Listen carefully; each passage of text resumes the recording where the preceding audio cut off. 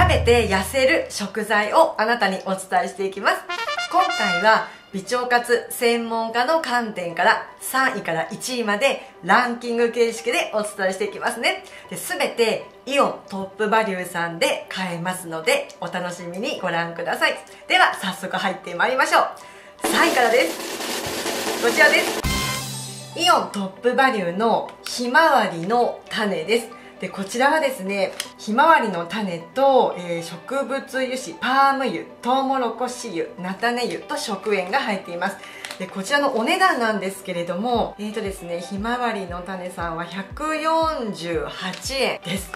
ではカロリー他栄養成分見ていきましょう。こちら1袋が 55g 入っているんですが 10g あたりエネルギーカロリーが63キロカロリーです。でタンパク質が 2.3g 脂質が 5.5g 糖質が 0.8g 食物繊維が 0.7g 入っています。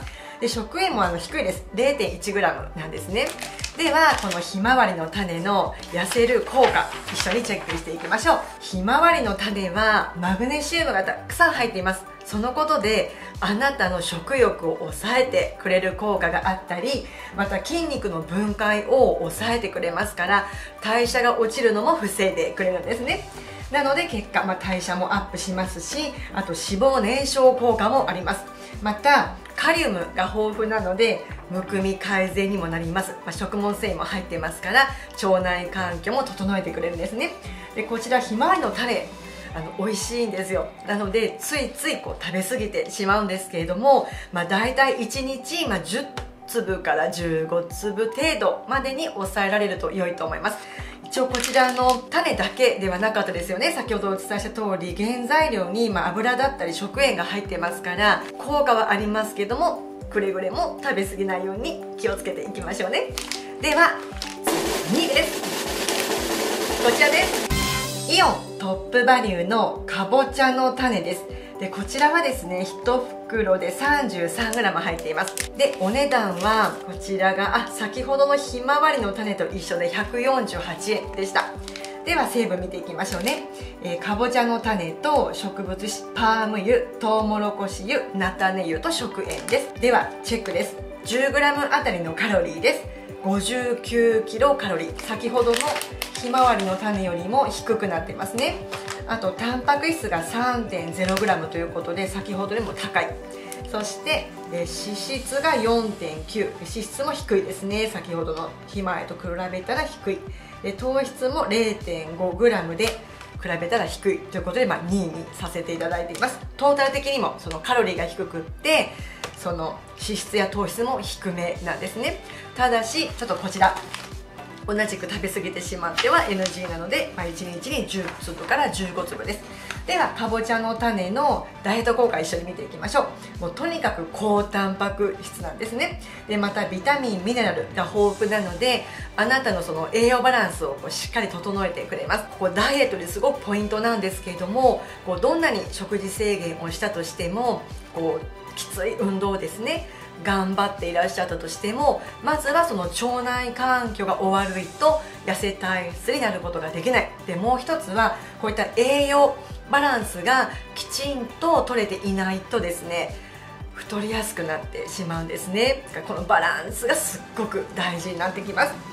でまたこちらも食物繊維が多いのでお腹の大掃除腸内環境が整って結果あなたはその腸内にいる痩せ菌と呼ばれるその善玉菌を増やすことができてその善玉菌が喜ぶこう餌となってくれますから食物繊維がですね。なので痩せ体質になることができるんですよ。で目安は先ほどお伝えした通りですね。食べ過ぎには注意です。なぜかというと油とその食塩が添加されているからでしたね。ではここからいよいよ第1位あなたにお伝えしていきます。こちらです。イオントップバリューの水理黒大豆です。でこちら1袋あたり 75g 入ってましてお値段が198円でした。でこちらも先ほど同じように 10g あたりの、まあ、カロリーと栄養なんですけれどもエネルギーがたったの45キロカロリーで一番低カロリーですね。そしてタンパク質がなんと 3.5g も取れます。高タンパク質ですね。そして脂質が 2.3g 糖質が 1.7g 食物繊維が 1.8g ということで食塩がもう0.003もうほぼないゼロっていうねあの数値になっています。でなぜそうかと言いますと白原材料名をチェックしましたら黒大豆かっこ国産のみ。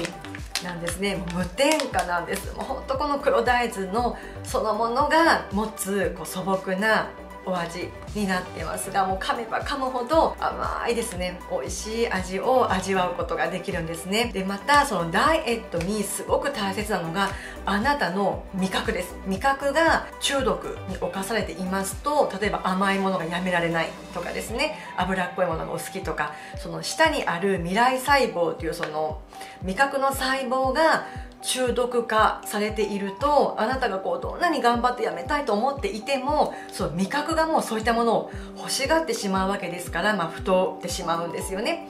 でこの味覚を変えるためにはそういったものを約2週間以上取らない。甘いものとかその太るものをですねちょっとお休みしてみられるとその細胞がですね2週間経った頃からやっとこう入れ替わる目安になってきますからあれ？なんかそんなに前ほど甘いもの食べたくないなとかですね。ポテチみたいなこう酸化したこうオイルが入ったですね。おやつとか食べたくないなってこう自然になってきますからそういった時にですねこういった素朴なもうほんとシンプルな素材のものを召し上がってください。んな味がするんだってもう感動します。でこういった味覚を戻すためのあの本当に一番早い手段の一つとして私が普段お伝えしていますこのファスティングというですね日本語で言うと断食です。プチ断食でもいいです。ちょっと晩ご飯かお休みするとかですね。そういったことを繰り返していくうちにそういった味覚もリセットするようになりますからおすすめです。でまたこのファスティングやダイエット法にご興味おありの方はこちら詳細欄に LINE のリンクを貼っておりますのでご登録後皆様私に直接ご相談されてますのであなたもご必要でしたら何でもおっしゃってくださいね。というわけでこちらが第1位なんですけれどもなんで第1位かと言いますととにかく無添加であることそして低カロリー高タンパクであること。これすっごく大事。あのタンパク質が不足している食事をされるとすぐにねお腹が空いてしまうんですね。もうこう食べたくなっちゃう。ですから食事制限をする時は絶対にタンパク質は減らしてはダメです。減らすのはやっぱ太る元の糖質。炭水化物系をコントロールされるといいと思うんですけれどもあのカロリーばっかり気にしててもダメということなんですね。タンパク質もすっごく大切ですしあとは腸内環境を整えるための食事も大事ということで黒豆の効果です。まずこのアントシアニンが豊富なためにあなたのですね体の中で起こるこの脂肪の吸収をこのアントシアニンの成分が抑えてくれますから太りにくくなるんですね。でまた食物繊維がとっても豊富。これは痩せ菌と呼ばれるその善玉系の餌になってそのいつまでも痩せ菌があなたの腸内でこう心地よく生き続けてくれるためにはもう絶対これ必要ですから善玉菌増やしても餌がないと減ってしまいますよね。なので食物繊維が大事。そして老廃物を結果デトックスすることができますから腸内がきれいになれば痩せ菌がどんどん元気になれますよということです。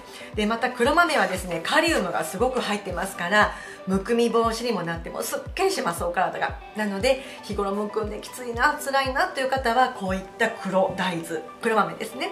を取って差し上げるとあなたのお体がもとっても喜んでくれるんですね。さあいかがだったでしょうか？このチャンネルではこのような様々な腸活法ダイエット法健康法をあなたにお伝えしております。そのことであなたが長期的に健康で綺麗に痩せるを応援しているんですね。是非高評価ボタンやチャンネル登録していただきましてもどんどんご参加ください。それでは最後までご視聴いただきましてありがとうございました。